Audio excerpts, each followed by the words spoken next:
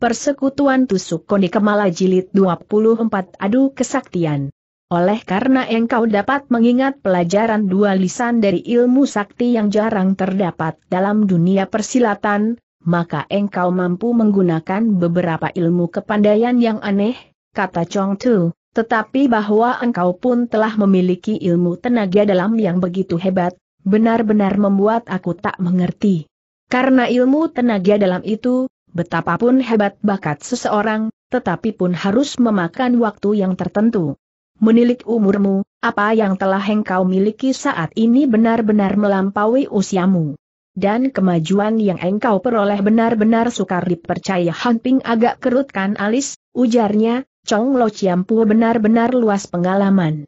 Aku memang telah beruntung memperoleh rejeki yang luar biasa, hanya saja, hanya saja, sudahlah, Tak perlu engkau bilang, tukas Chong Tu, kalau mendapat rejeki yang luar biasa, memang tak leluasa memberitahukan orang.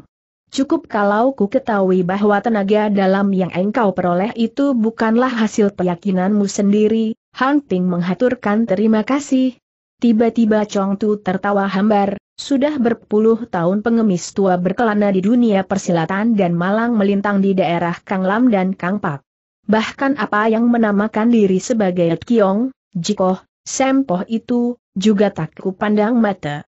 Tetapi sungguh tak kira dalam beberapa bulan terakhir ini, keangkuhanku telah goncang, Han menghela napas, karena setiap orang tak sama rezekinya maka hasil yang diperolehnya pun berbeda. Berkat budi kebaikan dari seorang Lo maka aku memperoleh hasil seperti hari ini. Tetapi Lo Chiampo itu sudah meninggal dunia sehingga aku tak sempat lagi membalas budinya, terkenang akan budi kebaikan Hui Gong Taisu yang telah mengajarkan ilmu pelajaran sakti dan menyalurkan tenaga murni, hati Hunting terseduh dan matanya berlinang-linang. Chong Tu menghela napas, Ihtian Heng mempunyai permusuhan apa dengan engkau membunuh ayah menghina ibu, tak dapat hidup di bawah satu kolong langit. Membinasakan guru melenyapkan adik, bagai lautan darah dalamnya sahut Hanping. Chong Tu merenung sejenak lalu berkata, walaupun engkau memiliki ilmu kepandaian sakti, tetapi mungkin belum dapat mencapai kesempurnaan untuk membunuh Ihtian Heng. Selalu berilmu tinggi, orang itu memang luar biasa licinnya. Di mata umum dia pura-pura berbuat kebaikan tetapi diam-diam dia telah membentuk komplotan. Berapa banyak anak buahnya, mungkin tiada orang yang mengetahui jelas, pengemis tua itu menengadahkan kepala dan menghela napas panjang, ujarnya pula, orang pada umumnya hanya tahu bahwa dia berilmu sakti. Tetapi sampai di mana kesaktiannya, tiada seorang pun yang tahu. Dalam dunia persilatan dewasa ini, kecuali pengemis tua ini, tiada seorang pun yang pernah bertempur dengannya. Tetapi baru tiga jurus saja, pengemis tua sudah tahu kalau tak mampu melawannya. Kalau begitu, ilmu kepandaian Ikhtian Heng itu benar-benar tiada dapat diukur tingginya tukas Ping. Jika menurut peraturan biasa, sepuluh tahun lagi mungkin engkau baru dapat mengalahkannya aku ingin lekas dua membalas dendam. Setiap hari hatiku seperti ditusuki jarum. Jika menunggu sepuluh tahun, mana aku sabar menunggunya Chong Chu tertawa, pengemis tua ini memang sudah usang. Mungkin dalam hidup sekarang ini aku tak mempunyai kesempatan untuk memenangkan dia. Apabila rejekin besar sekali, kemungkinan tak perlu makan waktu begitu lama Hon Ping memandang Chong Tu dengan pandangan kecewa lalu menundukkan kepala. Tetapi dewasa ini kedok muka Ihtian Heng yang berpura-pura melakukan kebaikan itu sudah terbuka. Setiap partai persilatan golongan putih sudah memusuhinya tentu banyak membantu meringankan bebanmu hendak membalas sakit hati, aku hendak menangkap hidup dua hangsat itu untukku sembahyangkan di makam ayah dan guru barulah hatiku puas, Chong Tu terkesiap, ujarnya, kalau terbunuh mati, mungkin ada harapan. Tetapi untuk menawannya hidup dua sukar sekali. Sekalipun dalam ilmu kepandaian engkau dapat mengalahkannya tapi dia tentu lebih unggul dalam tipu muslihat. Dia seorang manusia yang julik, licin dan ganas. Masakan dia tak tahu kalau akan ditangkap hidup-hidup, tiba-tiba Honting menitikan air mata, menilik ucapan Lo Chiampua, dalam hidup yang sekarang ini, aku tentu tiada mempunyai harapan untuk membalas sakit hati Chong Tu kerutkan alis, sudahlah, jangan menangis. Asal melihat air mata, pengemis tua tentu kehilangan faham, Han Ping membesut air mata lalu mengangkat muka dan bersuit panjang. Dengan gagah perkasa ia tertawa nyaring, bagi seorang jantan, air mata itu laksana emas mahalnya. Mengapa aku sembarangan menjatuhkan air mata? Sekalipun tubuh Ihtian Heng itu terbuat dari besi dari baja, tetap akan ku hancur leburkan dan ku sembahyangkan di muka makam ayah dan suhu ha, ha, ha, Chong Tu tertawa tergelak, bagus-bagus. Dengan pernyataanmu yang gagah perkasa itu, engkau sudah berhasil menyelesaikan cita-citamu untuk menempur Ihtian Heng tiba-tiba Chong Tu berpaling. Ah, pada jarak setombak dari tempatnya, tampak berdiri seorang lelaki bertubuh tinggi besar. Dia adalah Hong Kuan Tiong dengan dikawal empat orang jago silat baju hitam. Oleh karena sedang bertukar pembicaraan yang asyik, Han Ping dan Chong Tu sampai tak mendengar kedatangan Hong Kuan Tiong. Setelah menghentikan tertawanya, pengemis sakti segera menegur Ong Kuan Tiong, Bukankah engkau hendak mencari pengemis tua ini benar? Ada sebuah hal yang sengaja hendak kutanyakan sahut Tong Kuan Tiong. Ah, tak usah sungkan. Silahkan bertanya sahut Chong Tu. Jika tiada hal yang penting lagi, ku harap kalian berdua segera tinggalkan tempat ini seru Ong Kuan Tiong. Apakah engkau hendak mengusir pengemis tua aku memohon dengan baik-baik, sahut Ong Kuan Tiong. Baik sahut Chong Tu, kami segera pergi habis berkata pengemis tua itu berpaling ke arah Han Ping dan mengajak pemuda itu pergi. Han Ping hendak bicara tetapi tak jadi. Terpaksa ia mengikuti di belakang Chong Tu. Berjalan tahun 1950-an tombak jauhnya, tiba-tiba mereka mendengar derap langkah orang, dari arah belakang. Han Ping berpaling dan melihat Tong Kuan Tiong tergopoh-gopoh menyusulnya tetapi keempat pengawalnya masih tegak berdiri di tempat semula. Chong Lo Chiampu seru Ong Kuan Tiong. Chong Tu berpaling dan hentikan langkah. Ong Kuan Tiong memberi hormat dan berkata dengan serius, aku masih ada sebuah permohonan lain, entah apakah saudara Ji dapat meluluskan atau tidak. Han Ping tertegun, sahutnya, hal ini, harap mengatakan lebih dulu agar dapat ku pertimbangkan baru memberi keputusan, sukar atau mudah tergantung pada pertimbangan saudara sendiri Han Ping kerutkan alis tiada menyaut. Chong Tu tertawa dingin, saudara Ong tak perlu banyak omongan. Lekas katakan saja berkata Ong Kuan Tiong dengan nada tertahan, ku minta saudara Ji ini, supaya jangan bertemu muka dengan Sumo Aiku lagi, karena merasa ucapannya itu tidak nalar, maka setelah mengucap, Ong Kuan Tiong lalu menghela napas panjang. Memang sulit untuk kukatakan alasannya, kata Ong Kuan Tiong pula, apalagi soal itu pun tak merugikan saudara Ji. Apalagi saudara Ji suka meluluskan, ah, sungguh aku merasa berterima kasih tak terhingga, Han Ping tersenyum, kukira hal apa, kiranya hanya begitu saja. Sejak saat ini, aku takkan, jangan buru-buru meluluskan tiba-tiba Chong Tu mengerat. Han Ping tertegun, mengapa harap saudara Ong jangan menyalahkan aku si pengemis tua ini banyak mulut. Memang sederhana tampaknya soal itu, tetapi, tak peduli bagaimana saja, siapa suruh engkau banyak mulut Tong Kuan Tiong berteriak marah. Chong Tu tertawa dingin, justru dalam hidupku, si pengemis tua ini paling suka mengurusi orang. Dalam dunia persilatan Tionggoan, siapakah yang tak kenal, dengan mata berkilat-kilat, Ong Kuan Tiong menatap pengemis tua itu. Tetapi entah bagaimana pada lain saat, tiba-tiba kemarahannya lenyap dan menghela napas, dalam dunia persilatan Tionggoan, engkau memang seorang yang paling berterus terang, pengemis sakti memandang ke atas dan tertawa, ah, jangan membuat kaget pengemis tua dengan pujian berkata pula Ong Kuan Tiong, Sukar ku katakan mengapa Sumo Aiku tak mau bertemu muka lagi dengan saudara Ji. Jika kalian tak mau meluluskan, aku, murid dari perguruan Lam Hebun itu berhenti bicara. Tetapi sampai lama tetap tak melanjutkan kata-katanya lagi. Karena saudara tak mau mengatakan alasannya, aku pun sukar untuk meluluskan. Dalam dunia yang begini luas, siapa pun tak dapat menjamin takkan bertemu, pun tak berani memastikan kalau takkan bertemu. Yang penting, asal kedua pihak tidak mengandung maksud untuk saling mencari, itu sudah cukup. Maaf, aku masih mempunyai lain urusan lagi yang hendak ku kerjakan Hon Ping memberi hormat. Memutar tubuh lalu melangkah pergi. Chong Tu menghela napas, harap saudara Ong pertimbangkan lagi adakah rencana itu bisa dilaksanakan atau tidak. Sampai di sini dulu pengemis tua berkata. Kita masih ada kesempatan berjumpa lagi maka terburu-buru harus memutuskan soal itu sekarang juga dan tanpa menunggu penyahutan Ong Kuan Tiong, pengemis tua itu pun berputar tubuh mengikuti jejak Hon Ping. Ong Kuan Tiong hanya termangu-mangu memandang bayangan kedua orang itu.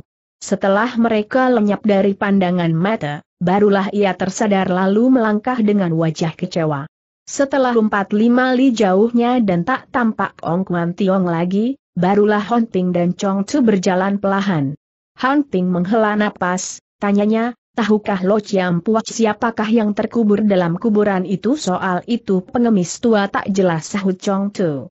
Merenung sejenak, Han Ping bertanya pula, Darah baju ungu itu mengapa memakai kerudung muka yang tebal Chong Chu batuk-batuk lalu menyahut, soal itu, ada dua sebab apa saja tiba-tiba Chong Tu tertawa lepas, pertama, karena ia terlalu cantik.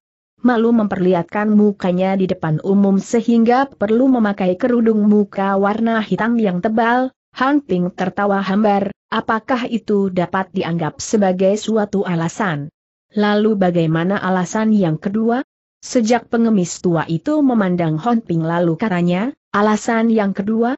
Ah, mungkin karena wajahnya mengalami perubahan, seketika Hon Ping merasa seperti menerima pukulan keras sehingga tubuhnya gemetar. Serunya, perubahan apa Chong Tu tertawa nyaring, kulitnya yang begitu halus, digigit nyamuk saja tentu akan membengkak besar, ah, Lo Ciampu bergurau tiba-tiba wajah Chong Tu berohah sungguh-sungguh, serunya, wajah cantik tentu menyengsamkan orang. Percintaan antara kaum muda-mudi itu memang sukar dihindari. Karena masih mengandung kewajiban membalas sakit hati, hendaknya janganlah engkau berkecimpung dalam lautan asmara sehingga akan melenyapkan tujuan mohon ping termangu. Serta merta ia menjura memberi hormat petuah Lo Ciampu yang berharga itu, seperti membungkus diriku dalam kabut kebingungan. Harap Lo Ciampu suka memberi penjelasan lebih lanjut, Chong Tu tersenyum, anak baik memang dapat dididik tempat ini bukan tempat yang sesuai, mari kita cepat-cepat lanjutkan perjalanan, Chong Tu mengiyakan, benar, Kim Loji dan budak perempuan lembah setan yang benar itu tentu tak sabar lagi menunggu di makam tua dia berhenti sejenak lalu berkata gopoh, Ihtian Heng sudah memiliki kotak pedang pemutus asmara lagi. Dia selalu bekerja dengan rencana yang terperinci. Dikuatirkan saat ini dia sudah mendahului ke makam tua itu.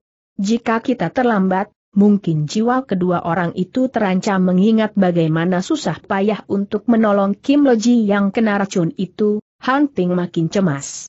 Ia tahu bahwa Ihtian Heng amat membenci Kim Loji. Jika berjumpa sekali lagi, pasti akan bertindak lebih ganas. Han Ping gelisah sekali. Cepat ia gunakan ilmu lari cepat. Demikianlah keduanya seolah-olah berlomba menuju ke makam tua. Tempo hari dalam ilmu lari cepat, Han Ping kalah setingkat. Tetapi sekarang ia sudah mampu menyamai pengemis tua. Walaupun Chong Tu menggunakan sembilan bagian tenaga dalamnya untuk berlari, namun dengan enak saja Han Ping dapat mengimbangi. Diam-diam panaslah hati pengemis sakti itu. Segera ia gunakan penuh sehingga larinya sekencang angin. Tetapi ketika berpaling ke belakang, ah, ternyata Han Ping masih tetap membayangi. Diam-diam pengemis titik sakti itu menghela napas, pikirnya, anak ini bukan saja memiliki pelajaran lisan dari ilmu kesaktian yang luar biasa, pun memiliki bakat yang hebat dia dapat mencapai kemajuan yang begitu pesat dalam waktu yang amat singkat. Bila pengemis tua dapat membuat panas hatinya supaya giat belajar, dalam waktu satu dua tahun saja dia tentu sudah tiada lawannya, keduanya berlari cepat sekali. Pada waktu siang hari di sepanjang jalan besar, sepintas pandang keduanya seperti dua gulung asap. Orangnya tak kelihatan lagi. Lebih kurang setengah jam kemudian, makam tua itu sudah tampak. Tiba-tiba Chong Tu lambatkan larinya dan berbisik, pelahan sedikit. Han Ping menurut dan mengikuti di belakang pengemis sakti itu. Sekonyong-konyong Chong Tu membungkuk. Dia mengalingi diri dengan rumput yang tinggi, berjalan maju perlahan-lahan. Setelah lebih kurang dua tombak dari makam tua, tiba-tiba ia menggenjot tubuh melayang ke atas pohon jati tua. Han Ping mencontoh tindakan Chong Tu dan hinggap di samping pengemis tua itu. Ketika memandang ke arah makam tua, seketika tergetarlah hati Han Ping. Di samping dua buah makam besar, tegak Ihtian Heng dengan pakaiannya yang mewah. Di sampingnya terdapat Hut Hoa Kong Chu.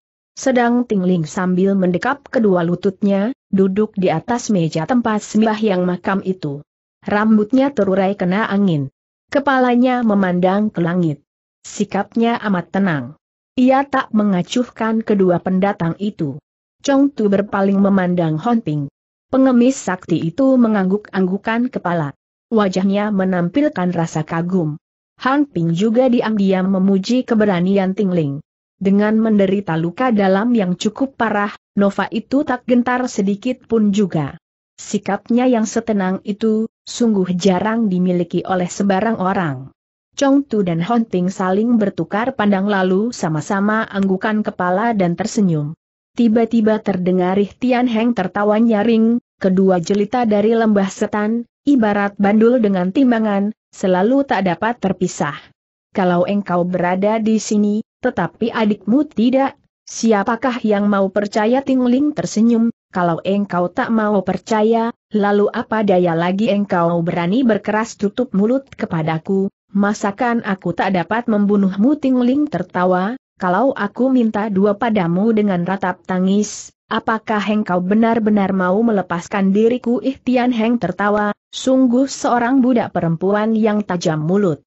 Apa yang disohorkan dalam dunia persilatan tentang kedua nona dari lembah setan itu, ternyata memang benar. Memang seorang lawan yang sukar dihadapi ah, tak perlu memuji, Chuan pendekarih yang terbesar Tian Heng tertawa, sekalipun lidahmu dapat memutar balik keadaan bunga teratai, tetapi hari ini jangan harap engkau dapat menyelamatkan jiwamu, memang aku sudah tak memikirkan lagi soal memati atau hidup. Dalam dunia yang seluas ini hanya Tian Heng seorang yang tak engkau bunuh sendiri. Siapa lagi orang yang mampu lolos dari genggamanmu asal engkau sudah tahu, cukuplah titik. Ihtian Heng tertawa. Ia berhenti sejenak lalu berkata pula, jika sudah berumur seratus tahun, orang tentu tak terhindar dari kematian. Maka tentang soal memati itu, tak perlu ditakutkan lagi. Yang ditakuti adalah rasa sakit sebelum mati. Jika engkau dengan berani menghindari yang berat memilih yang enak, tak mau bicara sejujurnya. Maka lebih dulu kusuruh engkau menikmati rasanya dari tahun Kinjokut, pencarkan urat, selisihkan tulang tingling mengangkat kepala memandang cakrawala, tertawa, Tai Hiap hendak menghancur leburkan tulang belulangku, lalu harus bagaimana aku bertindak? Toh hari ini aku pasti mati dada hunting serasa meledak dadanya. Ia tak dapat menahan kemarahannya lagi. Tetapi pada saat ia hendak loncat turun, Chong Chu cepat mencegahnya. Terdengar Hut Hoa Kong Chu tertawa gelak-gelak, serunya, Sungguh tak kira bahwa di Tionggoan terdapat seorang gadis yang secantik dan selincah begini. Apakah saudara Ih tak sayang kalau membunuhnya? Lalu bagaimana menurut pendapat saudara Xiong? Tanya Ih Tian Heng. Alangkah baiknya kalau saudara Ih serahkan nona itu kepadaku, wajah Tingling berubah seketika. Menatap wajah pemuda itu ia melengking, diserahkan kepadamu. Lalu bagaimana? Hut Hoa Kong Chu tertawa, persoalan selanjutnya, Aku tak leluasa mengatakan, Ihtian Heng tertawa, begini sajalah, tiba-tiba ia maju dua langkah lalu menampar. Pingling melengking dan menggigil tubuhnya.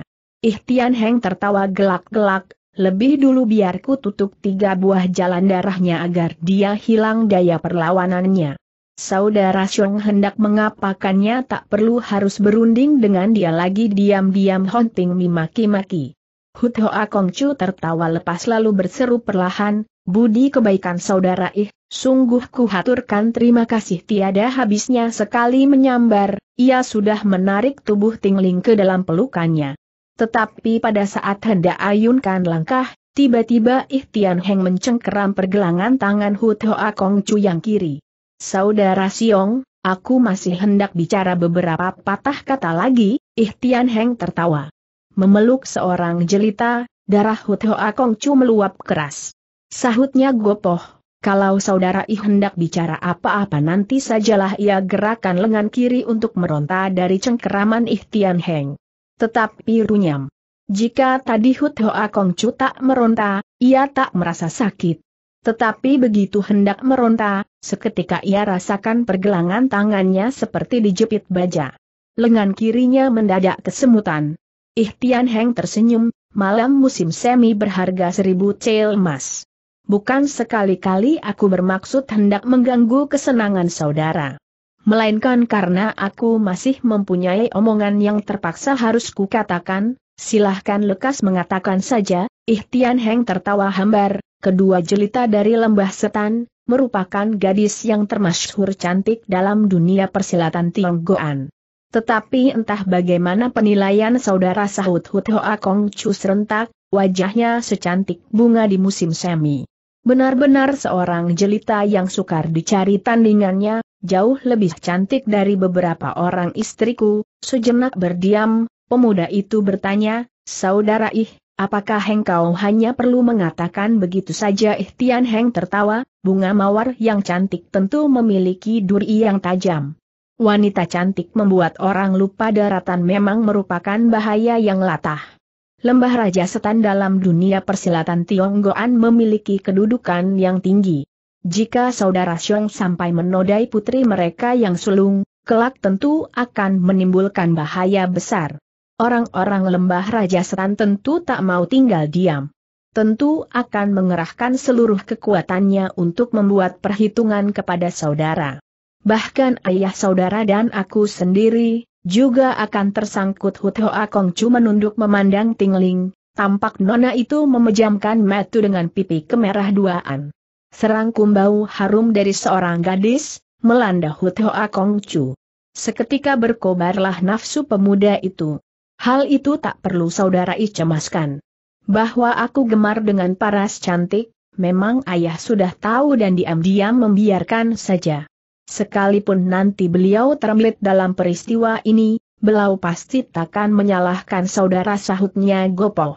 Sekalipun saudara tak khawatir akan mirbet ayah saudara, tetapi aku sendiri tak suka bermusuhan dengan pihak lembah Raja Setan lalu bagaimana maksud saudara tanya Hut Hoa Kong Chu tegang.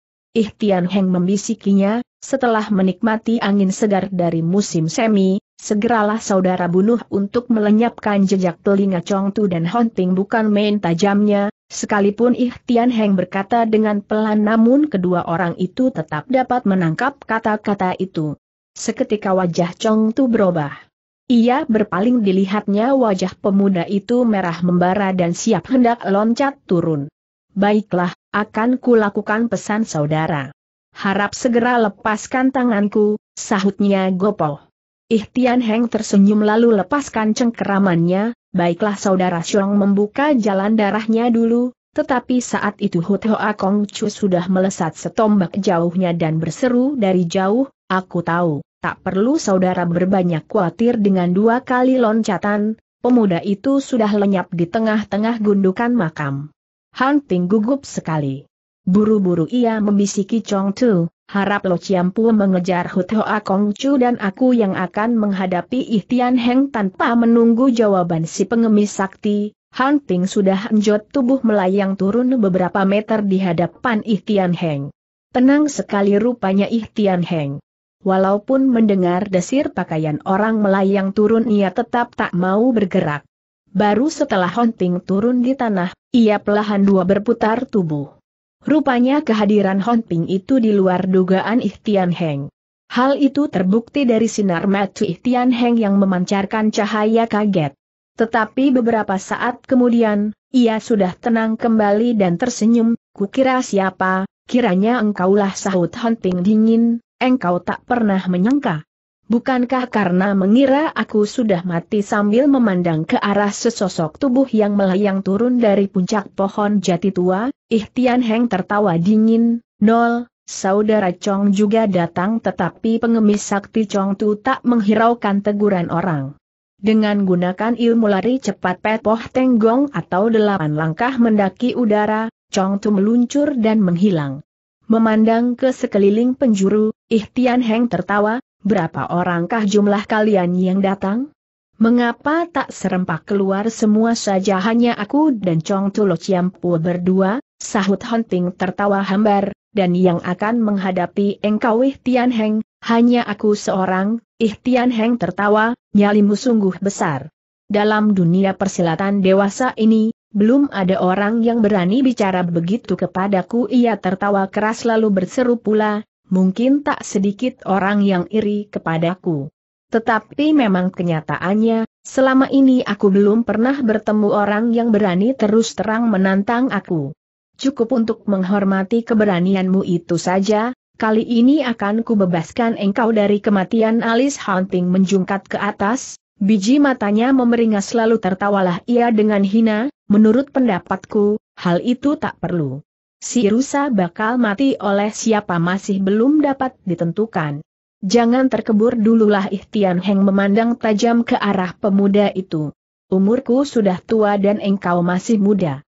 Soal berkelahi itu soal kecil. Tetapi lebih dulu bilanglah, dendam apakah yang menyebabkan engkau membenci padaku Honting tertawa. Membunuh ayah, menghina ibu, membasmi guru melenyapkan adik, Tiba-tiba Ihtian Heng jungkatkan alis dan menukas, siapakah ayah bundamu? Mengapa engkau menuduh aku yang mencelakai mereka dengan wajah penuh geram? Han Ping menyahut lantang, dengan metu kepala sendiri ku saksikan hal itu dan dengan telingaku sendiri ku dengar peristiwa itu. Di depan ranjang suhuku engkau pura-pura mengakui kesalahan. Tetapi setelah itu, engkau lalu turunkan tangan ganas kepada suhu yang telah merawat aku sampai besar itu.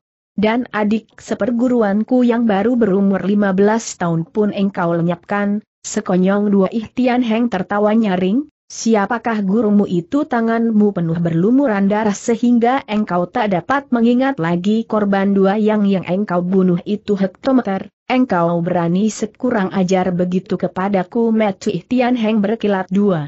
Biasanya ia selalu mengulum senyum dan berseri muka. Tetapi begitu marah, matanya seperti memancar api yang menyeramkan. Han Ping terkesiap karena agak gentar menghadapi keangkeran orang. Tetapi pada lain saat marahlah ia, dengan tanganku sendiri aku hendak menuntut balas lalu hendak ku sembahyangkan orang itu di hadapan makam ayahku. Berlaku kurang ajar kepadamu, itu saja masih suatu sikap yang sungkan, Ihtian Heng tengadahkan kepala memandang ke langit, kemudian ia tertawa dingin, bagus, bagus, hari ini tentu akan ku selesaikan kehendakmu itu. Pelahan dua ia mengangkat tangannya kanan, menghadapi seorang musuh yang tangguh, Han Ping tak berani berayal. Ketika memperhatikan tangan Ihtian Heng, mau tak mau tergetarlah hatinya. Kiranya ditingkah oleh sinar mata hati ia melihat tinju Ihtian Heng itu berwarna merah darah. Hai, ilmu apakah itu karena kurang pengalaman Han Ping heran melihat warna tinju itu. Tetapi Ihtian Heng tak segera ayunkan tinjunya. Bahkan wajahnya tampak ramah pula dan serunya tertawa, engkau dapat sama-sama terluka melawan Siang Kuan Wan Cheng, puteri dari ketua marga Siang Kuan di Kanglam, tentulah kepandaianmu tinggi juga. Kenalkah engkau akan kekuatan pukulanku ini Hunting tertawa hina, pukulan yang bagaimana dahsyat dan beracun, aku tetap tak mengacuhkan katak dalam tempurung, berapa luaskah pengetahuanmu? Engkau tentu tak mungkin mengetahui nama pukulanku ini Hunting sudah kerahkan seluruh tenaga dalam. Sahutnya lantang, tak peduli ilmu pukulan apa saja, Silahkanlah segera lepaskan ku beri kesempatan agar engkau mengetahui akan mati di bawah pukulan apa. Inilah yang disebut Hang Yan Chiang, tiba-tiba ia mengangkat tinjunya lalu diayunkan. Saat itu Honting sudah siap hendak menyongsongnya. Tetapi karena tiba-tiba Ihtian Heng menarik kembali pukulannya, Han Ping terkejut heran. Pada saat ia memutuskan hendak mendahului menyerang, sekonyong-konyong ia rasakan serangkum tenaga panas melanda dirinya. Han Ping tak berani berayal. Sambil kerahkan tenaga dalam untuk melawan, ia pun melepaskan pukulan balasan. Tangan kanan diluruskan ke muka dada terus dihantamkan.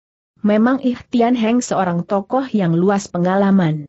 Melihat dorongan tangan Hon Ping itu sama sekali tak bersuara, diam-diam Ihtian Heng menimang, budak ini walaupun masih muda, tetapi mengapa dapat memiliki kepandaian yang begitu sakti saat itu pukulan Hang Yan Chiang, api merah, yang dilontarkan Ihtian Heng sudah bersambutan dengan pukulan Hon Ping. Pertempuran yang dilangsungkan antara Hon Ping lawan Ihtian Heng, jauh sekali bedanya dengan pertempuran biasa. Kalau pada umumnya, tokoh-tokoh silat kalau bertempur tentu bergerak serba cepat dan keras tetapi tidaklah demikian dengan Hon Ping lawan Ihtian Heng. Gerakan tinju kedua orang itu pelahan dan ringan dua saja. Tetapi pukulan mereka itu mengandung keindahan yang sukar dilukis. Pukulan Hang Yan Chiang dari Ihtian Heng cepat sekali sudah berbentur dengan pukulan Hon Ping. Tiba-tiba angin menderu keras sehingga dahu dan pasir bertebaran tebal sehingga memaksa kedua seteru itu berpencaran lagi. Ihtian Heng terkejut sekali. Setitik pun tak mengira bahwa lawannya yang masih semuda itu mampu mencapai tataran yang tinggi dalam ilmu kepandaian silat. Ia dapatkan tenaga dalam pemuda itu tak kalah di bawahnya. Sehabis mendorongkan pukulan, hati Hunting berguncang keras. Pukulan lawan serasa seperti gunung rubuh. Ia merasa tak mampu menghadapi. Segera ia susuli dengan pukulan tangan kiri yang dilambari tenaga dalam penuh. Dengan gerakan kedua tangan itu, barulah Hon Ping dapat memperoleh keseimbangan tubuh dan berdiri tegak. Dan tenaga pukulan Ihtian Heng yang melandanya, pun hilang sirna. Kiranya pukulan yang dilancarkannya itu adalah pukulan sakti dari perguruan kaum agama tataran tingkat tinggi. Dan berhasillah ia menghalau pukulan api merah yang amat beracun. Ihtian Heng kaya pengalaman dalam pertempuran. Ilmu tenaga dalamnya telah mencapai tataran yang sempurna. Benturan itu segera menyadarkannya bahwa pukulan api merahnya tak berhasil melukai lawan. Pada saat itu sedang tertegun, tiba-tiba ia rasakan tubuhnya bergetar. Sisa tenaga pukulan pemuda yang masih meremes dan bahkan mendadak bertambah dahsyat berlipat kali sehingga ia terdorong mundur selangkah. Ihtian Heng, jago yang menganggap dan dipandang sebagai tokoh nomor satu dalam dunia persilatan dewasa itu, terkejut dan marah. Ia mendengus dingin dan ayunkan tangan kirinya. Angin menderu dan debu pasir pun berhamburan pula. Keduanya seperti teraling oleh gulung debu tebal. Tetapi mereka memiliki metu yang amat tajam. Walaupun tak melihat jelas keadaan lawan masing-masing, tetapi keduanya tak berani menduga bahwa lawannya menderita kekalahan. Hasil adu pukulan itu makin menimbulkan kepercayaan Honting pada diri sendiri. Walaupun ia telah memperoleh suatu rejeki yang luar biasa tetapi apa yang telah diyakinkan itu masih belum mencapai tataran sempurna. Penyaluran tenaga dalam yang diberikan Hui Gong Taisu kepadanya, belum dapat dikembangkan sehingga dapat digunakan menurut sekehendak hatinya. Andai kata Ihtian Heng dapat mengetahui mimik wajah Hon Ping yang mengerut kesakitan lalu menyerangnya lagi dengan seluruh tenaga dalamnya, boleh dipastikan Hon Ping tentu akan terluka. Ihtian Heng seorang yang licik, licin dan penuh tipu muslihat. Justru karena itulah maka telah menghilangkan kesempatan yang bagus. Dua kali adu pukulan dengan Hon Ping, menimbulkan dugaan padanya bahwa pemuda itulah satu-satunya lawan yang dapat mengimbangi kepandaiannya. Maka ia sengaja sisakan tiga bagian tenaganya untuk menghadapi pertempuran terakhir. Dan karena hanya menggunakan tujuh bagian tenaga dalam, adu pukulan menjadi berimbang.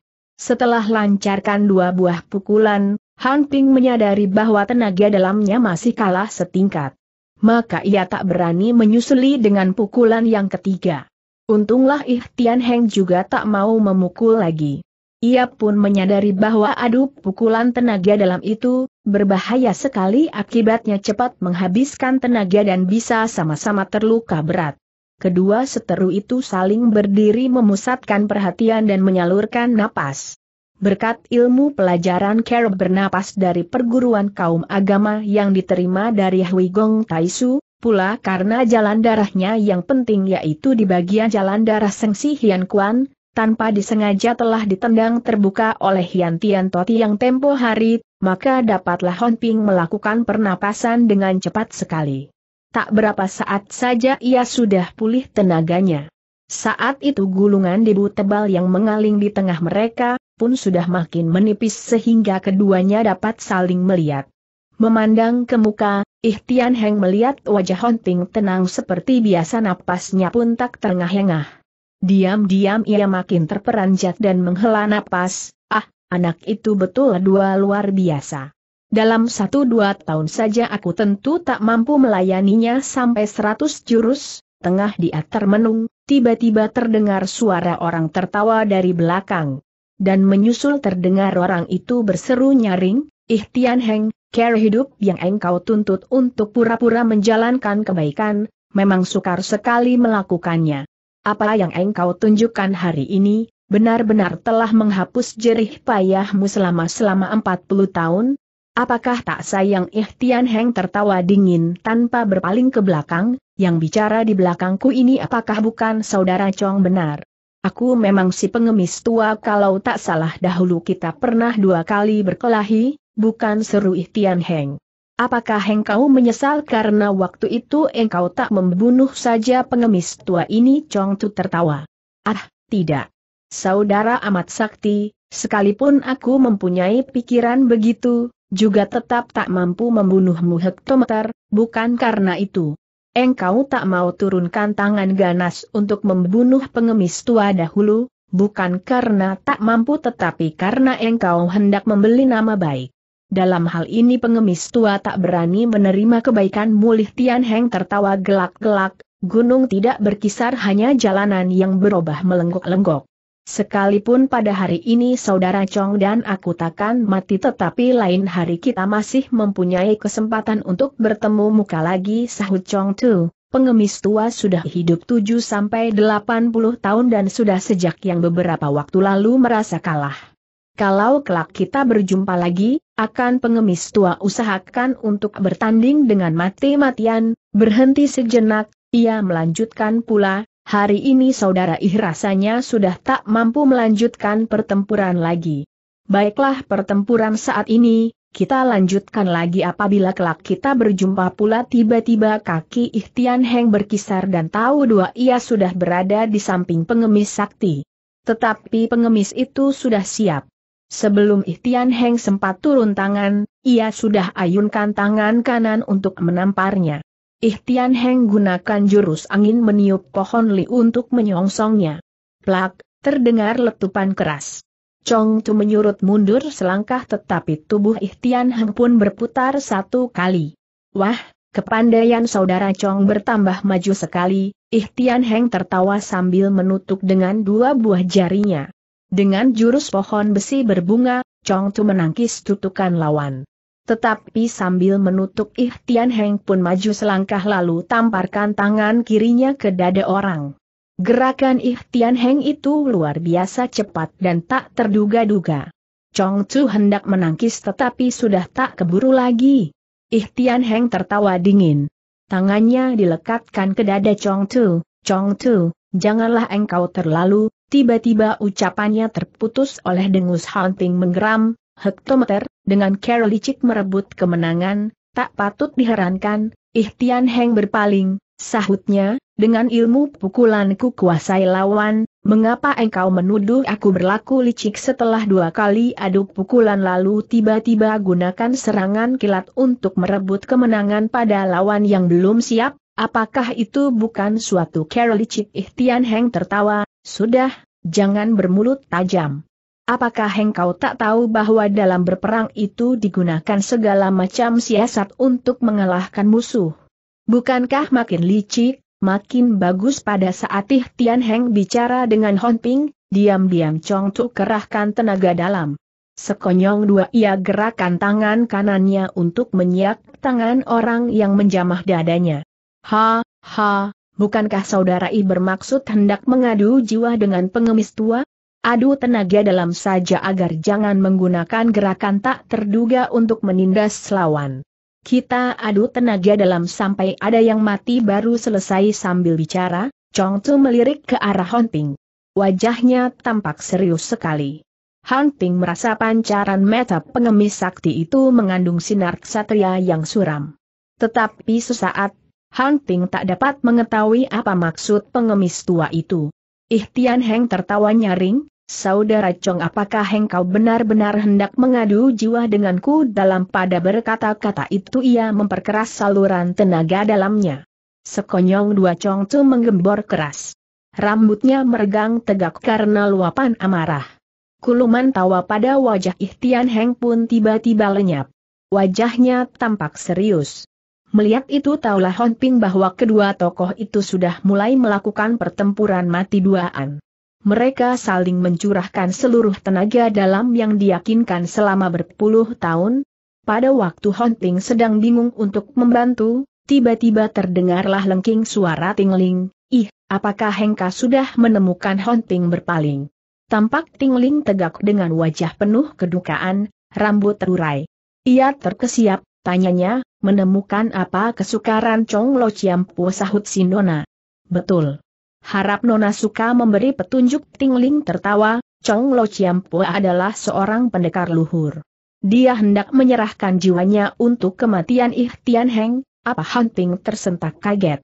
Dia tahu bahwa dia bukan lawan Ihtian Heng tetapi ia tetap nekat hendak mengadu jiwa dengan orang itu.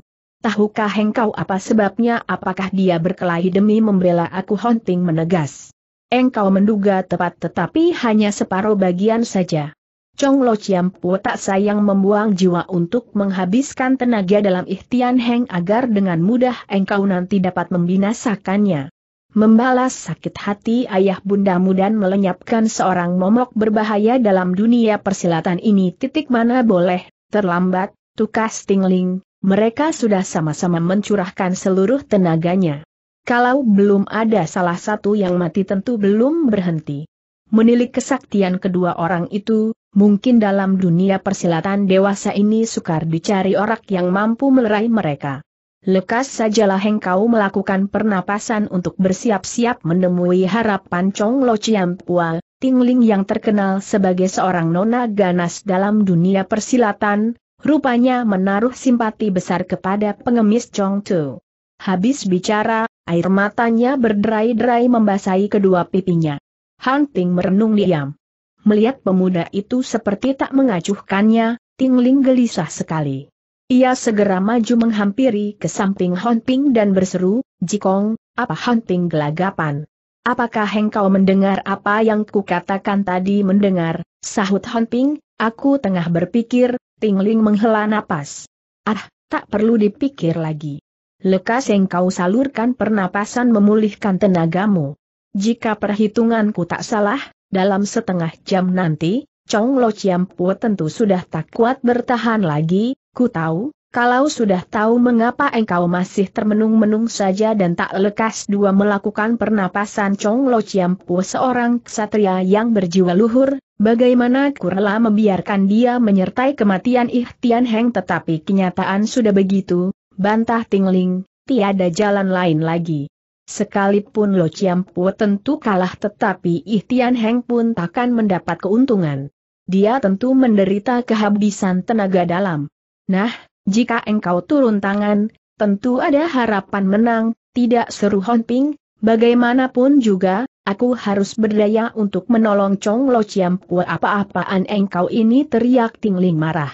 Kenapa jika tidak mengetahui bahwa engkau tentu akan dapat memenangkan? Ihtian Heng, Chong Lo Chiampu tentu tak mau menempuh bahaya begitu Nona Ting, seru Hon Ping, harap jangan mengganggu aku dulu, maukah? Kasihlah aku waktu untuk mencari daya menolong Chong Lo Chiampu Tingling makin menggeram keras, sebelum engkau menemukan daya itu, Chong Lo Chiampu sudah celaka. Menilik kesaktiannya, apabila mendapat kesempatan untuk beristirahat sebentar saja, Ihtian Heng tentu sudah pulih tenaganya. Pada saat itu, jangan harap kita dapat hidup lagi, tetapi Han Ping tetap gelengkan kepala lalu melangkah ke samping. Ting Ling memburunya. Dengan bercucuran air mata ia meratap, Xiang Kong, ku mohon sangat kepadamu. Sekalipun engkau tak mau membalas sakit hati orang tuamu tetapi sukalah engkau menolong Chong Lo Chiampu dari tangan Ihtian Heng, pada saat Han Ping hendak menyahut, tiba-tiba terlintaslah dalam benaknya sesuatu pikiran. Cepat-cepat ia pejamkan mata dan mengosongkan pikiran. Tingling seorang nona yang keras kepala. Selama hidup ia belum pernah memohon sampai begitu sangat kepada orang. Melihat Han Ping malah memejamkan mata, tak mau mengacuhkan, marahlah nona itu. Plak, plok, ia menampar pipi Han Ping. Han Ping tetap berdiri mematunglah tak mau melawan sehingga kedua pipinya membengap. Setelah menampar, Tingling menyesal sekali. Ia menutup matanya dengan kedua tangannya dan menangis terseduh-seduh. Beberapa saat kemudian ia rasakan rambutnya dibelai pelahan-lahan oleh sebuah tangan. Ia menduga tentu Honting yang menghiburnya. Ia makin menyesal dan pedih, ujarnya, apakah engkau sakit tiba-tiba terdengar suara agak parau menyahut, tak apa, Pingji seorang jujur. Karena kebingungan engkau menamparnya, dia tentu tak marah kepadamu Ting Ling cepat dapat menduga bahwa yang bicara itu tentulah Kim Loji. Ia tersipu-sipu malu. Ketika mengusap air matanya, tampak Hon Ping masih tetap berdiri di tempatnya. Wajahnya tampak aneh. Pemuda itu geleng-geleng kepala dan mengertakkan gigi. Tetapi tak tahu apa yang dikatakan. Ting Ling terkejut heran, pikirnya, apakah dia kena serangan gelap dari Ihtian Heng? Ah, Tadi aku telah salah sangka kepadanya tiba-tiba Han Ping membuka mata, wajahnya berseri-seri, serunya, Nona Ting, Chong Lo Chiampu ketolongan habis berkata, Han Ping terus enjot tubuh melambung ke udara dan meluncur ke samping Chong Tu, berdiri di tengah kedua tokoh itu lalu mengangkat kedua tangannya. Ting Ling terkejut sekali. Buru-buru ia berseru, Ji Siang Kong, jangan sembarangan mengganggu mereka, ia terus lari memburu dan menyambar ujung baju Han Ping. Han Ping berpaling, lekas mundurlah. Jangan menghalangi pekerjaanku. Chong Lo Chiampu sudah tak kuat bertahan kalau Chong Lo Chiampu tak tahan dan engkau goncangkan dia, dialah pasti yang menderita, bantah Tingling. Aku sudah menemukan care untuk menolong Chong Lo Chiampu. Jangan khawatir dan lekaslah menyingkir seru Hunting Gopo. Tingling menatap Hunting sejenak lalu lepaskan cengkeramannya. Ia mencabut badik dan berkata, baik, karena engkau tak mau mendengar omonganku, kita bertindak sendiri-sendiri saja. Dan jangan saling mengerut badik diangkat terus ditusukkan ke punggung dan perut Tian Heng. Hang Ping terkejut sekali. Cepat ia menyambar tangan si Nona, mau apa engkau ini hendak membunuh Ihtian Heng dulu tidak? Mereka berdua sedang adu tenaga dalam. Apabila engkau mengganggu Ihtian Heng tenaga dalam mereka pasti berbalik akan menghancurkan tubuhmu Tingling tertawa dingin, ku tahu, tetapi sekalipun aku mati, Ihtian Heng juga tak mungkin hidup bukan dua orang tetapi tiga orang. Chong Lo Chiampo juga ikut binasa. Ah, dia sudah kehabisan tenaga. Pasti tak kuat menerima ledakan tenaga dalam itu mati bersama jauh lebih baik daripada Chong Lo Chiampu sendiri yang binasa. Chong Lo Chiampu seorang ksatria yang berbudi luhur. Dia memperhatikan sekali dirimu. Tetapi kebalikannya, engkau amat sayang pada jiwamu, sekali tangan kiri Hunting memijat agak keras, lengan kanan Tingling terasa kesemutan dan lemas lunglailah seluruh tenaganya. Han Ping tertawa, engkau keras kepala dan tak mau mendengar keteranganku. Terpaksa ku suruh menderita sedikit Han Ping pelahan-lahan menutup dua buah jalan darah di tubuh nona itu lalu mengangkat tubuhnya ke tempat Kim Loji, ujarnya, harap paman menjaga nona Ting ini sebentar. Jangan sampai digigit ular berbisa Kim Loji yang banyak pengalaman, saat itu wajahnya pucat lesi. Matanya tak berkedip memandang ke arah Chong Tu dan Tian Heng dengan penuh kecemasan. Pada waktu Hon Ping berkata kepadanya, Kim Loji pun seperti tak mengacuhkan dan sembarangan saja mengiyakan. Han Ping menghela napas pelahan lalu menghampiri ke tempat Chong Tu dan Tian Heng lagi. Berdiri di tengah kedua orang. ia mengangkat kedua tangannya. Begitu menyalurkan tenaga dalam, terus direntang ke arah dada kedua orang itu. Entah bagaimana, tiba-tiba tangan kedua orang yang tengah beradu tenaga dalam itu, menyurut ke belakang. Seolah-olah urat dua tangan kedua orang itu mengerut. Tubuh mereka bergoncang-goncang dan serempak rubuh ke tanah. Han Ping cepat loncat ke samping Kim Loji, bisiknya, Paman, Kim Loji seperti terjaga dalam mimpi, serunya heran, apakah Ihtian Heng mati belum? Oh, Kim Loji mendesus. Tubuhnya menggigil. Melihat pamannya ketakutan, Han Ping segera menghibur, tak usah takut, Paman. Ihtian Heng sudah kututup jalan darahnya, untuk beberapa waktu dia tak dapat bergerak, kalau dia sudah dapat bergerak, kita pasti tak dapat hidup seru Kim Loji. Han Ping tahu bahwa pamannya itu sudah terlanjur patah nyalinya terhadap Istian Heng. Maka begitu melihat orangnya saja, sudah seperti melihat hantu. Ketika berpaling ke arah Tingling, bukan kepalang kejut Han Ping. Tubuh nona itu tengah dirayapi seekor ular aneh. Warnanya merah, berkembang putih. Panjangnya antara semeter. Sekalipun jalan darahnya tertutup tetapi pikiran Tingling masih sadar. Semangatnya serasa terbang ketika tubuhnya dijalari ular aneh itu. Namun karena tak dapat berkutik, ia pun tak berdaya apa-apa. Sedang Honting walaupun memiliki kepandaian sakti tetapi sesungguhnya ia agak jeri terhadap ular. Tak berani ia menyambar dengan tangan. Serentak ia teringat akan Chong Tu. Kalau pengemis sakti itu dapat bergerak tentu dengan mudah dapat menangkap ular. Saat itu si ular mulai merayap ke arah kepala Tingling. Lidahnya yang merah, menjulur-julur mengerikan sekali. Melihat itu Honting terpaksa memberanikan diri. Ia menyambar ular aneh itu. Sesungguhnya berkat kepandaian yang dimiliki saat itu, jangankan hanya ular kecil, meskipun harimau, orang utan dan lain-lain binatang tentu tak mampu menghindar dari sambarannya.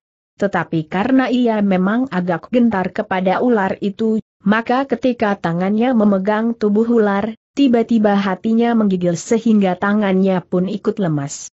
Adalah karena keayalan itu, si ular berkembang putih, tiba-tiba palingkan kepala dan menyambar lengan Honping. Honping cepat condongkan tangannya terus mencentik leher ular itu celaka. Walaupun hanya menyelentik tetapi cukup membuat kepala ular itu terpental ke muka lagi dan serentak menggigit lengan Tingling. Han Ting terkejut dan marah sekali. Cepat ia memapas tubuh ular itu dengan telapak jarinya. Karena menggunakan tenaga dalam, ular itu kutung menjadi dua. Tetapi ia tetap menyesal karena melihat lengan kiri Tingling tergigit ular sampai meninggalkan bengap warna merah gelap sebesar ruang senin. Cepat ia membuka jalan darah Nona yang tertutup.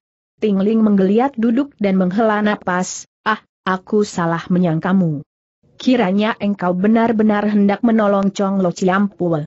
Apakah Chong Lo Chiampu terluka begitu membuka mulut? Nona itu segera menanyakan diri Chong Chu sama sekali ia tak menghiraukan luka digigit ular tadi. Chong Lo Chiampu hanya tertutup jalan darahnya untuk sementara waktu. Tak lama dia tentu tersadar, ku tamparmu dua kali tadi apakah engkau marah kepada Kutingling tertawa. Keadaan saat itu tak dapat menyalahkan engkau, kata Honping. Jadi engkau marah Tingling tertawa. Ah, sudahlah, jangan bicara seperti anak kecil.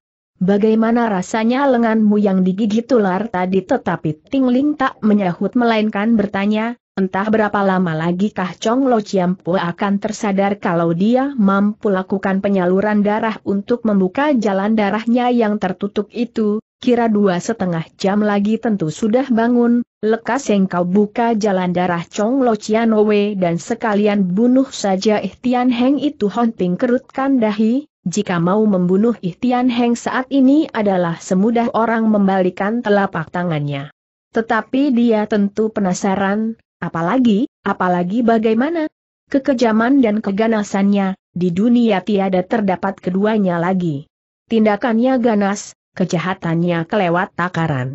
Mengapa tak mau membunuh manusia semacam itu seru Tingling? Dia telah membunuh ayahku dan menghina ibuku. Cita-citaku yang utama di dunia ini ialah membunuhnya untuk membalas sakit hati orang tuaku. Tetapi membunuh dikala dia tak berdaya, bukanlah laku seorang ksatria. Apalagi dia pernah melepas budi kepadaku. Menurut kepantasan, aku harus satu kali melepaskannya juga, Tingling menghela napas, kata-katamu benar. Tetapi dunia persilatan itu licik tak mungkin lain orang akan berpikiran begitu murni seperti engkau. Tiba-tiba tubuh nona itu gemetar seperti orang yang menderita pukulan. Hai, mengapa engkau honting berseru terkejut? Aku segera akan mati, harap engkau suka menurut beberapa permintaan ini, maukah jika tak kucengkeram, ular itu tentu tak menggigit nona ah, akulah yang mencelakai nona, Han Ping menyesali dirinya sendiri dengan berlinang-linang air mata. Tingling tersenyum, tak perlu engkau salahkan dirimu. Dan memang hal itu tak dapat menyalahkan dirimu. Sekalipun tak digigit ular, aku pun tak mungkin hidup sampai besok pagi. Nona itu menghela napas lembut. Wajahnya menampilkan keramahan yang mesra. Pelahan-lahan ia ulurkan tangan kanan, menjamah Honping, ujarnya pula, Dunia persilatan mengatakan kami berdua gadis dari lembah Raja Setan itu kejam dan ganas seperti ular, ah, itu hanya desas-desus saja. Sedikit pun aku tak merasakan hal itu, Tingling berkata pula, terima kasih atas pujianmu. Sebenarnya, dalam setiap langkah, memang aku agak kejam. Orang mengatakan diriku begitu, memang bukan omong kosong, Han Ping hanya mendesus karena tak tahu harus menjawab bagaimana. Lalu batuk-batuk. Tetapi adikku Ting Hang itu tidak berdosa, kata Ting Ling pula, walaupun kami Taci dan adik saling sayang dan rukun, tetapi perangai kita memang beda. Adikku murni jujur, baik hati. Sering dua menasehati agar aku suka memberi ampun orang. Tetapi wataku memang sukar dirubah. Setiap menghadapi persoalan tentu menyelesaikan dengan cara yang ganas. Misalnya seperti tadi. Jelas sudah ku ketahui bahwa membunuh Ihtian Heng yang tak berdaya itu bukan perbuatan ksatria. Tetapi toh ku minta engkau melakukan juga, ah, karena Nona memikirkan keselamatan diriku, lain tidak sahut Honting. Tingling memegang tangan kanan Honting tiba-tiba ia memijatnya lebih keras, Aku hendak minta tolong kepadamu, entah engkau suka meluluskan atau tidak asal dapat, aku tentu tak menolak tingling pejamkan mata. Dua butir air mata menitik turun dari pelupuknya, belum 20 tahun aku hidup tetapi banyak kejahatan yang telah kulakukan. Aku tak takut mati dan tak ada sesuatu yang memberatkan hatiku. Satu-satunya yang menyebabkan aku tak dapat meram di alam baka ialah adikku itu dia bakal tak ada orang yang merawatnya lagi. Sejak umur tiga tahun sudah ditinggal mati ibu.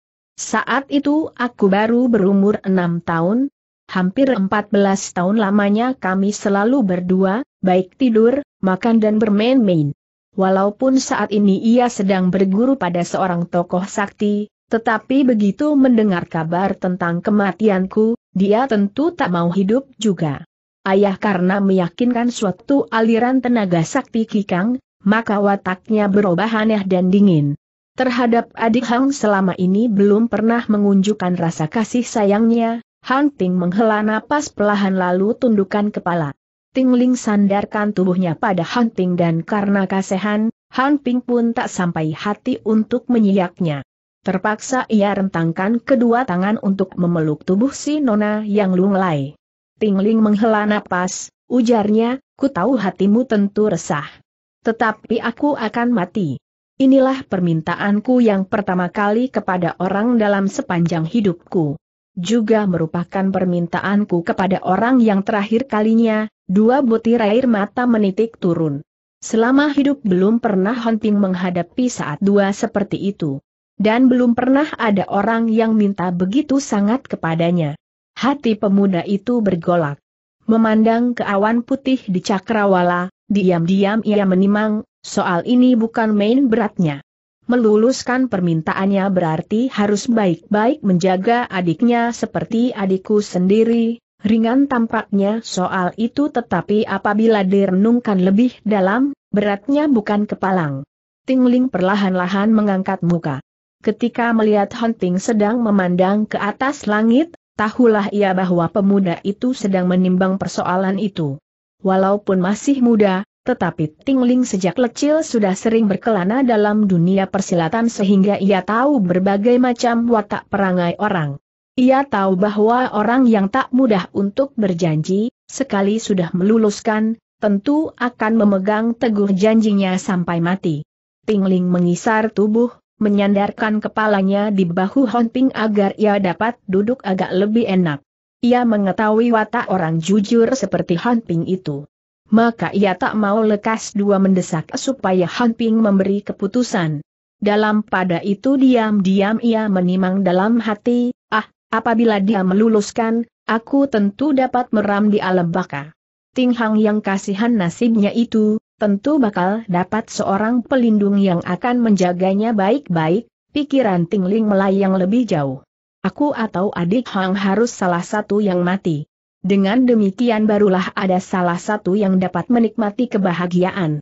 Aku dan adik Hang sama-sama mencintai pemuda ini. Jika aku mati, adikku pasti bahagia. Akulah yang membentuk kebahagiaan itu untuknya. Apabila keduanya berkelana di dunia persilatan, lama-kelamaan tentu akan tumbuh rasa sayang menyayangi. Ah, adik Hang, belasan tahun lamanya aku sering marah kepadamu. Tetapi sesungguhnya hatiku sayang sekali kepadamu. Akah tak tahulah. Apabila kelak pada saat kalian menikmati kebahagiaan adakah engkau akan ingat pada tacimu ini? Jis Yang Kong seorang jujur. Dia tentu akan memberitahu kepadamu tentang permintaanku sebelum mati. Adik Hang, pada saat itu engkau tentu berterima kasih kepada tacimu, wajah Tingling berseri-seri. Hatinya tenang sekali, sedikit pun tak takut menghadapi detik dua kematian. Sambil merapikan rambutnya yang terurai, Nona itu menimang lebih lanjut, orang menganggap kematian itu seperti perjalanan yang menyeramkan. Sekalipun ksatria pendekar dan orang gagah, dalam detik dua menghadapi kematian tentu gelisah dan cemas, tetapi ia tak takut sama sekali akan kematian itu. Hatinya setenang telaga, perasaannya secerah pagi hari, sikapnya bagai seekor anak kambing yang akan mendambakan diri ke dalam pelukan malaikat maut. Tiba-tiba Honting sudah bulat dengan keputusannya. Ia menghela napas panjang dan menatap si Nona, ya, aku meluluskan. Biarlah dalam kehidupan yang sekarang ini, akan kuperlakukan dia sebagai adikku sendiri, Tingling tertawa puas. Perlahan-lahan ia pejamkan mata dan berkata dengan berbisik, Ah, ku tahu, engkau tentu akan meluluskan bagaikan sebuah gunung yang tak goyah dilanda gelombang lautan, janjimu itu tentu takkan berubah selama-lamanya, Han tertawa hambar, ah, Nona terlalu memuji aku, berhenti sejenak, ia berkata pula, tetapi kalau aku mati, sudah tentu aku tak dapat menjaganya. Aku mau menuntut balas sakit hati orang tuaku dan masih ada lain hal penting pula yang harus ku kerjakan. Karena hal itu sukarnya bukan main. Mungkin sebelum berhasil melaksanakan, aku sudah mati lebih dulu, Tingling menghela napas rawan, jika sekarang engkau mau membunuh Ikhtian Heng, sudah satu dari tugasmu tentu selesai nona itu agak merentang pelupuk matanya. Ketika melirik dan melihat wajah Honping mengerut gelap, buru-buru Tingling menyusuli kata-kata, ah, aku salah omong lagi. Engkau seorang lelaki, seorang ksatria perwira. Tentu akan bekerja dengan terus terang tak seperti aku yang licik dan banyak muslihat ini, Han Ping tersenyum, tegurnya, eh, bagaimana keadaanmu saat ini cepat? Segera akan mati apakah engkau merasa tiada obatnya lagi tanya Han Ping. Tidak. Apakah engkau tak kenal akan ular tadi kata Tingling dengan tandas?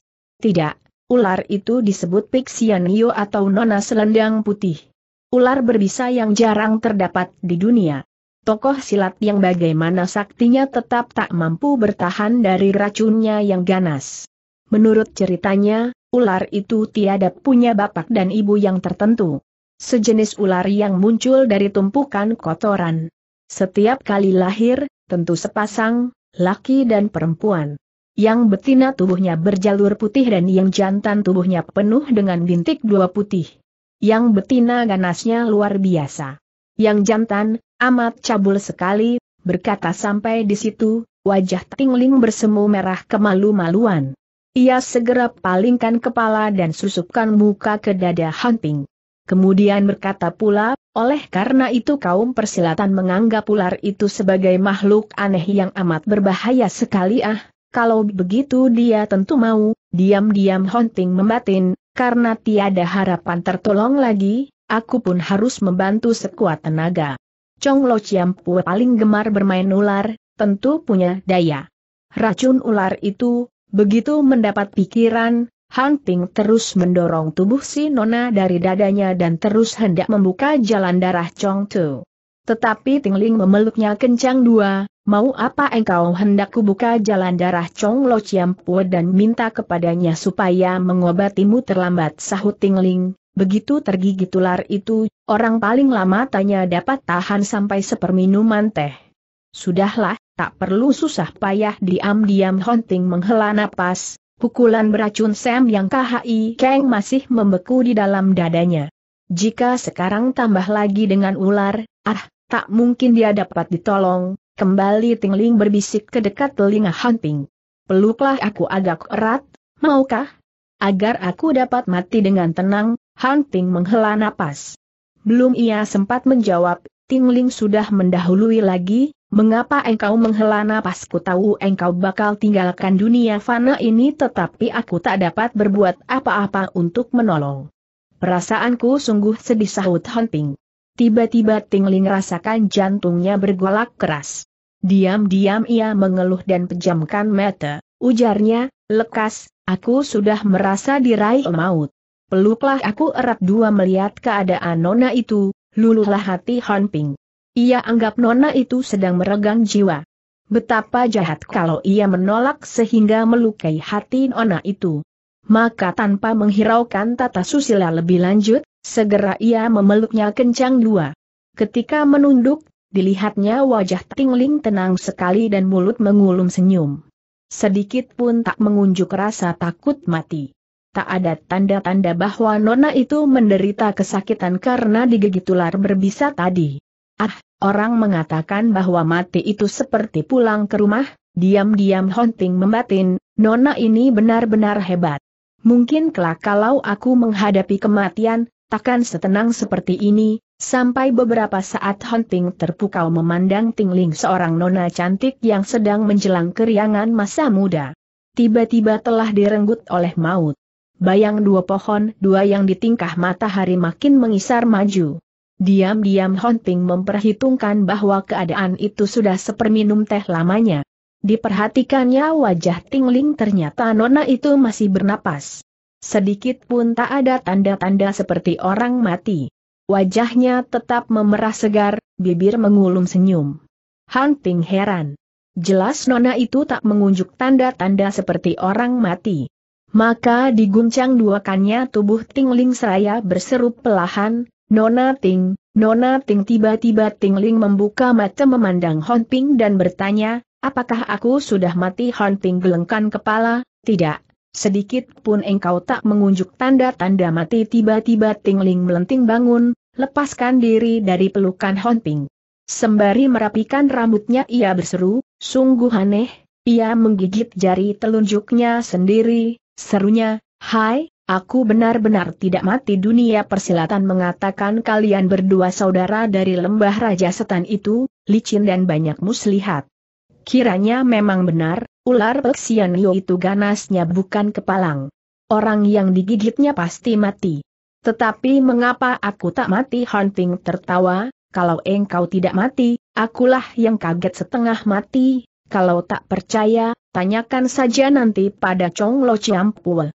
Orang yang digigit ular sabuk putih itu dapat tertolong atau tidak tiba-tiba Hunting teringat akan sebuah kalimat dalam buku Tatmo Keng yang mengatakan bahwa sesuatu kekerasan yang telah mencapai puncaknya tentu akan menimbulkan kelunakan. Ah, ku tahulah, akhirnya ia mendesus. Tahu apa? Kalau aku sengaja menipumu, biarlah kelak aku mati tersiksa, seru Tingling dengan mengucurkan air mata. Eh, mengapa engkau bingung sendiri? Aku tak mengatakan kalau engkau menipu Honting tertawa. Sambil mengusap air mata, Tingling masih heran, sungguh aneh sekali, mengapa aku tak jadi mati Honping memberi keterangan, apabila dua macam racun saling bertemu, maka hilanglah khasiat kedua-duanya.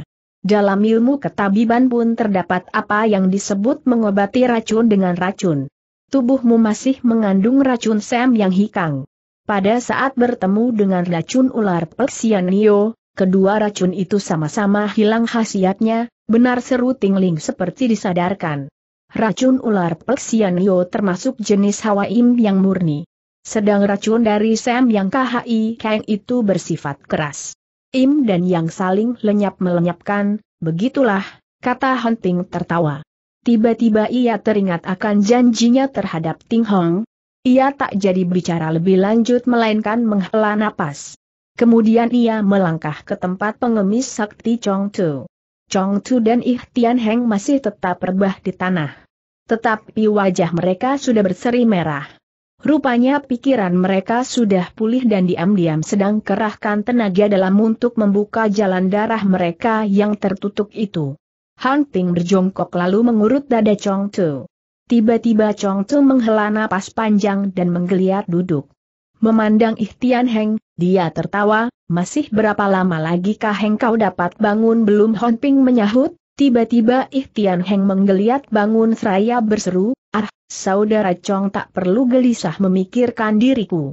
Chong Tu tertegun serunya, saudara Ih memang benar-benar lebih sakti dari pengemis tua sambil tersenyum, Ihtian Heng menjawab, jika tak memperhitungkan kemungkinan akan menderita luka dalam, dalam seperminuman teh saja aku tentu sudah mampu membebaskan diri, Han Ping terkejut melihat kesaktian orang. Pikirnya, kepandaiannya benar-benar luar biasa Ihtian Heng bangun perlahan-lahan. Ketika melihat Ting Ling sedang memandang Kim Loji, ia tertawa dingin dan memanggilnya, Kim Loji, kemarilah Kim Loji gemetar tetapi ia tak berani membangkang dan perlahan-lahan menghampiri. Melihat itu Hon Ping segera maju menghadang Ih Tian Heng, membentaknya nyaring, apakah tenagamu sudah pulih kembali sudah delapan bagian sahut Ih Tian Heng. Baik. Sekarang aku hendak turun tangan seru Hon Ping seraya menghantam dengan jurus naga sakti keluar air. Keduanya pernah adu pukulan. Masing-masing sudah mengetahui kekuatan lawan. Pukulan pertama dari Han Ping itu menggunakan tujuh bagian tenaga dalamnya. Ihtian Heng menghindar ke samping lalu balas menebas dengan gerak sungai mulai cair. Han Ping menangkis dengan tangan kiri, bersuit panjang dan maju merapat. Melihat itu Ihtian Heng gerakan tangan kanan dalam gerak menunjuk langit menggurat tanah untuk menahan pukulan dari pemuda lawannya. Tetapi dengan sebuah gerakan tubuh yang luar biasa anehnya, Han Ping dapat menghindar dan tetap merapat maju. Gerakan Han Ping itu, mengejutkan Ihtian Heng. Bahkan Chong Tu pun terbeliak kaget. Ia merasa gerakan yang dilakukan Han Ping itu tak mungkin ditahan dengan segala jenis jurus ilmu silat. Begitu merapat, Han Ping terus gerakan kedua tangannya. Pukulan dan tutukan serempak berhamburan menyerang lawan. Dalam sekejap saja ia sudah lancarkan buah pukulan dan empat buah tutukan jari. Kecuali luar biasa cepatnya, pun kelima buah pukulan dan keempat tutukan itu ganasnya bukan kepalang. Tutukan jari mencari jalan darah besar, pukulan mengarah bagian tubuh yang berbahaya. Setiap gerakan jari maupun tinju selalu membawa maut bagi lawan. Diserbu dengan serangan maut yang begitu gencar, Ihtian Heng dipaksa mundur beberapa langkah. Sembilan jurus serangan dan tepat sembilan langkah ia harus mundur. Saat itu ia berada di muka sebuah makam besar. Sekeliling makam itu penuh ditumbuhi rumput setinggi anak. Ihtian Heng dipaksa harus masuk ke dalam gerumbulan rumput situ. Tahan tiba-tiba Chong Tu lompat membentak Hunting dan Ihtian Heng terkejut. Secepat kilat Chong Tu melayang ke belakang Ih Tian Heng, menyambar ke dalam gerumbulan rumput terus cepat-cepat menyurut mundur tiga langkah. Karena khawatir pengemis tua itu akan menyerangnya dari belakang, Ih Tian Heng sudah bersiap. Tetapi melihat pengemis itu mundur lagi, barulah ia longgar hatinya. Berpaling ke belakang, Ihtian Heng melihat pengemis tua itu sedang mencengkeram seekor ular yang tubuhnya berbintik putih panjang semeter dan besarnya seperti cawan arak. Sebagai seorang yang luas pengalaman taulah Ihtian Heng bahwa pengemis tua itu sedang mencekal seekor ular Persianio yang amat berbisa. Tiba-tiba ia merasa malu hati, pikirnya, kalau tadi ku hantamnya, pengemis tua itu tentu tak dapat menghindar dari pukulan mautku. Tetapi aku pun pasti akan digigit ular Pelsianio itu. Dan aku pun tak mungkin hidup juga. Eh, tetapi mengapa tadi aku tak memukulnya? Apakah aku sudah merasa kalau pengemis itu akan menolong diriku? Atau mungkinkah aku khawatir sekali pukul tak dapat membinasakannya? Entahlah, entah.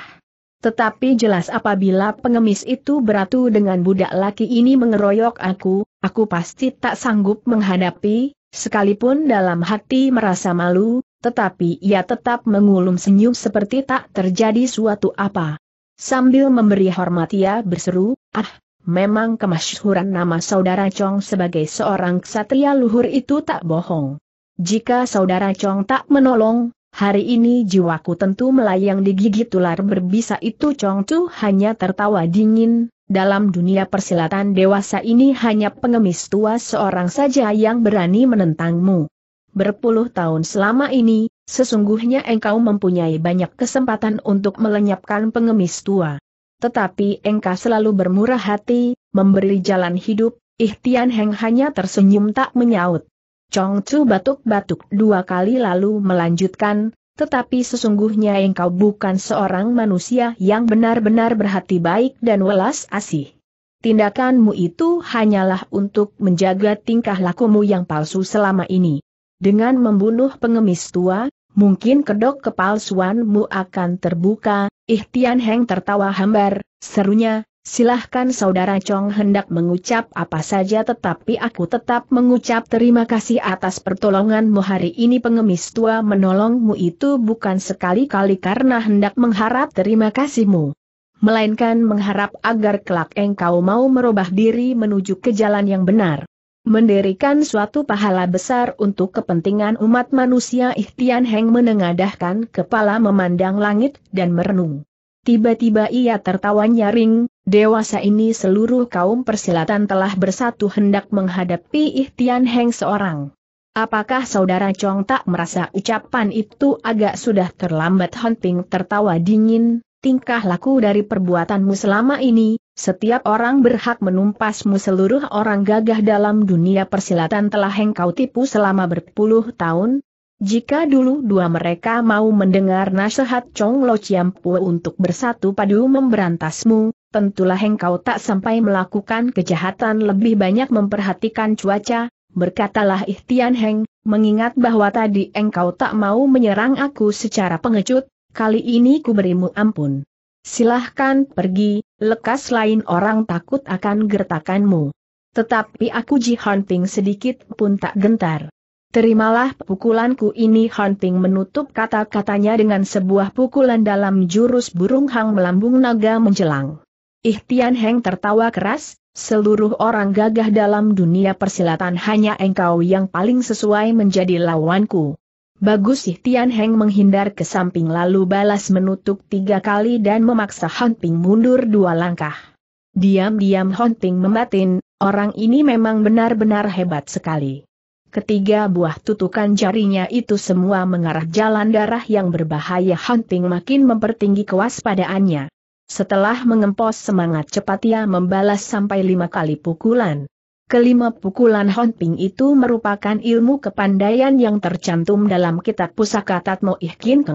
Setiap jurus mengandung tenaga keras. Dan dengan lima buah pukulan itu, ia cepat memaksa lawan mundur dua langkah juga. Ihtian Heng kerutkan air serunya, rupanya engkau mempunyai hubungan erat dengan perguruan Xiao Lim Si. Kelima pukulanmu tadi, merupakan jurus dua dalam ilmu pukulan capeh lohon ciang, 18 dewa. Mengandung tenaga to alat Kim Kong Chiang dalam pada berkata-kata itu Ihtian Heng pun maju lagi dan menyerang. Tangan kiri menabas, tangan kanan memukul. Han Ping merasa bahwa ilmu pukulan lawan itu mengandung banyak perubahan yang aneh dan luar biasa. Untuk sesaat itu tak mampu menemukan daya untuk memecahkannya maka ia tak berani menangkis melainkan loncat menghindar ke samping. Ah, kiranya engkau mengenal gelagat juga, seru Ihtian Heng, mengapa engkau tak berani menangkis pukulanku mengamankan dunia ini? Han Ping tertawa dingin. Tangan kiri menampar ke udara, jari tangan kanan menebar didorong ke muka. Ihtian Heng tercengang. Ia belum pernah melihat ilmu pukulan semacam itu. Oleh karena ia merasa bahwa dalam jari dua lawannya itu mengandung jurus dua maut yang sukar diduga, ia tak berani menangkis. Cepat ia enjot tubuh loncat mundur dua tiga langkah. Ihtian Heng, mengapa engkau tak berani menangkis pukulanku lima tali serempak melentik Ihtian Heng tersenyum, bagus, jurus lima tali serempak melentik yang hebat, ia loncat maju lagi dan menghantam dari samping saya berseru, budak kecil, cobalah engkau rasakan jurus badan halilintar serempak timbul ini mengapa tak berani sahut Hunting sambil gerakan tangan kanan untuk menyambut. Ihtian Heng tertawa dingin. Tiba-tiba ia endapkan pukulannya lalu tebarkan jari untuk menutup. Jika Ihtian Heng melakukan perubahan, Han Ping pun juga tidak tinggal diam. Ia juga julurkan kedua jarinya secepat kilat dijentikan. Dari adu pukulan sampai pada pukulan mereka lakukan dengan cepat sekali. Setiap gerak perubahan itu mengandung ancaman maut. Terdengar Hunting dan Ihtian Heng sama-sama mendengus tertahan dan sama-sama mundur ke belakang, ternyata keduanya telah menderita luka. Begitu muncul mereka lalu pejamkan mata mengambil pernapasan. Wajah Ihtian Heng pucat lesi. Sedang muka Hunting merah seperti orang habis minum arak. Baik Chong Chu maupun Ting Ling sama sekali tak mengetahui mengapa kedua orang itu sama-sama menderita luka. Mereka pun tak mendengar suara benturan pukulan sama sekali. Tahu dua kedua seteru itu sudah sama-sama terluka. Ting Ling buru-buru menghampiri ke tempat Han Ping dan bertanya, apakah engkau terluka Han Ping sedikit membuka matanya, gelengkan kepala, hektometer, tetapi Ihtian Heng pun juga terluka Ting Ling berpaling ke arah Ihtian Heng, tanyanya pula, apakah lukamu berat nanti baru ketahuan, sahut Han Ping. Ting Ling terkesiap. Kalau begitu tentu parah sekali Han Ping tersenyum, Mungkin tidak beralangan tiba-tiba terdengar orang berseru kepada Tingling, Hai, budak setan besar, pamanmu datang Tingling berpaling. Ah, ternyata pamannya Ting San, Leng Kong Xiao, Cha Jing dan Cha Giok serta Nye Obun Giao. Nona itu girang sekali. Apakah yang di sebelah muka itu Ling Ji seru Ting San pula? Ah, paman, selamat datang, seru Ting Ling. Begitu tiba, rombongan Nye Obun Giao itu terkesiap dan memandang ke sekeliling tempat itu kepada Han Ping. Ihtian Heng dan pengemis Chong Tu. Cacu Jing memberi hormat berseru, apa kabar saudara Chong Chong Tu balas memberi hormat lalu menjawab, pengemis tua tidak sakit, tak ada yang tak baik selama ini, Nye Obun Giao membisiki Ting Yan San. Ting Yan San pun lalu berseru keras dua memanggil Ting Ling. Sejenak memandang Chong Tu, Sinona lalu menghampiri ke tempat pamannya. Kira dua lima enam langkah dari tempat Tingyan San, Nona itu berhenti, paman hendak memberi perintah apa kepada Tingyan San batuk-batuk lalu berkata, ke mana adikmu si Hang disuruh tinggal dalam biara Hian Bu Kiong oleh Tian Hian Totiang, sambil berpaling ke arah En Bun Giao, Tingyan San berseru, apa, Apakah Tian Hian Tot yang juga berada di sini diam-diam nona itu menimang. Hadir atau tidaknya Tian Hian Tot yang di situ, ternyata mempunyai pengaruh penting. Ting Ling gelengkan kepala mengatakan tak melihat Tian Hian Tot yang. Diam-diam Chong Tu memuji kecerdikan si Nona yang tak mau membohongi orang tua tetapi suruh mereka meraba-raba dalam dugaan sendiri. Ting Yan San kerutkan dahi, ujarnya, beradanya adikmu dalam biara Hian Bu Kiong itu, sebelumnya engkau sudah tahu atau belum tahu, sahut Tingling. Kalau tahu kenapa mencegahnya ilmu pedang Tian Hian Tot yang hebat biasa. Sekalipun maju berdua, kami tetap bukan lawannya. Mana aku mampu mencegah jawab Tingling. Rupanya Ting Yansan terbentur dengan jawaban itu sehingga ia tak dapat berkata lagi. Setelah diam beberapa jenak, barulah ia berkata pula, HMM, seorang gadis yang sebatang kera luntang-luntung di dunia persilatan, apa macam? Mengapa tak lekas pulang? Mau cari apa Ting Ling tak mau membantah lagi dan segera mundur ke samping. Tiba-tiba pengemis sakti Chong Tu memberi hormat kepada Ting Yansan, Ting Losam, pengemis tua hendak merundingkan sebuah hal dengan engkau. Entah engkau mau atau tidak Ting Yansan tertegun, serunya, ah, kalau saudara Chong mempunyai urusan, silahkan bilang. Asal dapat, aku tentu tak menolak Chong Tu tersenyum, dunia persilatan mengatakan bahwa kedua nona dari lembah Raja Setan itu, kejam dan banyak tipu muslihatnya. Terutama nona yang pertama lebih ganas dari adiknya. Tetapi pengemis tua merasa nona yang pertama itu justru lebih menarik. Ingin kuambilnya sebagai putri angkat, entah apakah engkau menyetujui atau tidak ucapan itu benar-benar di luar dugaan sekalian orang. Sampai Tingling sendiri juga terkesiap. Chong Chu adalah seorang tokoh ternama. Pribadi dan sepak terjangnya, selalu lurus dan terus terang. Sedang lembah Raja Setan itu sudah terkenal jahat. Keganasan kedua nona dari lembah Raja Setan itu sudah termasyhur di seluruh dunia persilatan. Yang satu dari aliran putih yang lain dari aliran hitam. Mengapa tahu-tahu pengemis sakti itu hendak mengambil anak angkat pada Tingling? Lama Ting San merenung baru ia berkata, bahwa saudara Chong ternyata menfukai mereka, sungguh suatu kebanggaan bagi lembah Raja Setan. Tetapi dalam hal ini, aku tak berani mengambil keputusan. Harus minta izin dari ketua lembah dulu, Chong Tu tertawa gelak-gelak, selama hidup pengemis tua selalu bekerja tak kepalang tanggung. Dalam soal itu sekalipun saudara Ting tak meluluskan pengemis tua tetap akan memungutnya sebagai anak angkat, Ting Yansan batuk-batuk, katanya, dengan tindakan itu bukankah berarti saudara Chong hendak menyusahkan aku Chong Tu tertawa, engkau mengembalikan karcis undanganku, bukankah berarti juga membuat susah padaku selagi kedua orang itu bertukar pembicaraan, diam-diamen Bun Giao memperhatikan wajah Ihtian Heng. Saat itu tiba-tiba ia menyelutuk, sesungguhnya urusan saudara Chong dan Ting berdua itu, aku tak seharusnya campur mulut.